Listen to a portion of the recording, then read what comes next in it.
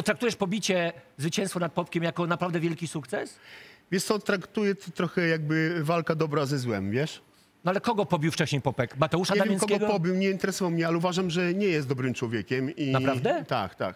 A wiesz, że ja miałem tutaj przeciwne. Ja miałem takie wrażenie, wiem. że tam jest skrzywdzone, skrzywdzone dziecko. Wiesz, naprawdę. ja wiem, bo oglądałem program ten, No. o którym był i on, wiesz, y, on, on, on po prostu myślę, że ma y, dwie osobowości, wiesz? Taką, jaką chce być i Aha. jaką jest naprawdę. Okej. I taka, jaka jest naprawdę, jest, jest złym Złym człowiekiem? Tak, ja A- po prostu go, nie to, że go nie, po prostu nie lubię, nie, no nie, mogę powiedzieć, że po prostu go nie lubię, za to, że jest złym człowiekiem.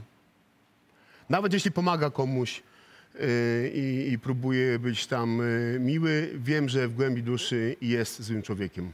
A to jest, to jest poważny, to jest poważny zarzut, wiesz o tym? No wiesz co, ja coś ci powiem, że nie wiem, czy widziałeś program z... y, Swój- z nie, nie, nie.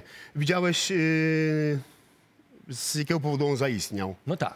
że tam zrobił faceburgera. No. Powiedz mi, co trzeba mieć w głowie, żeby dać komuś do zjedzenia to, powiedz.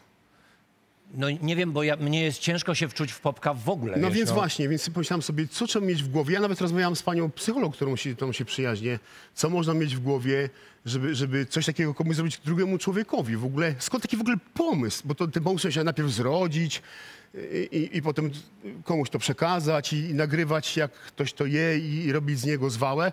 Ja w ogóle nie wyobrażam sobie, skąd taki może być pomysł w głowie u człowieka. Więc No, myślę, ale- że, myślę, że nie jest on normalny, no. Nie jest on normalny. Tak. To ładna definicja, ale nazwałeś, y, powiedziałeś, że ma psychikę dziesięcioletniej dziewczynki. To nie są miłe słowa. Jakbyś mnie tak nazwał, Mhm. nie wiem, co bym zrobił.